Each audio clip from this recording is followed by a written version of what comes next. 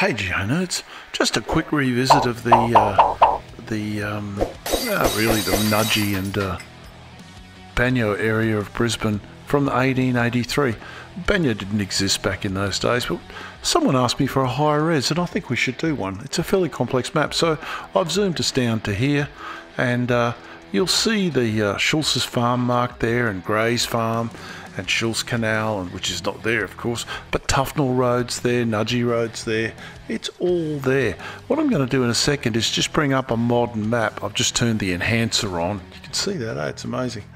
Um, yeah, so here comes a modern map of where we are in the real world today, and a lot of the roads are still exactly where they were. Of course, the canal's there now, and you've got the freeway and all the other stuff.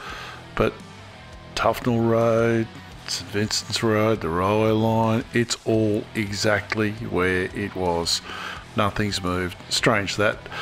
The big thing is look at all the infrastructure that's gone over where the freeway is, all those roads over there, all those farms, all those houses, all that food we used to grow, all gone. Anyway, I'm just going to bring up that uh, aerial photo of 1946, but I've actually uh, morphed a little so it actually fits the map properly so you can see exactly where it was. Um, you can see Gray's farm up there, Schulz's farm again where the sugar cane and all the pineapples grew. Uh, you can see an American Army base there because it's just after World War II. And uh, yeah, so the roads are there. I don't think they're bitumen by the look of them, and I don't think there would have been a bitumen road on the north side of Brisbane then. But anyway, but look at all those crops. It's a shame we've lost all that. But anyway, progress onwards and upwards. Probably a lot less mosquitoes there now than there was then. Hard to say. Anyway, I promise I'll leave this subject alone now. Keep rocking. T Rocks out.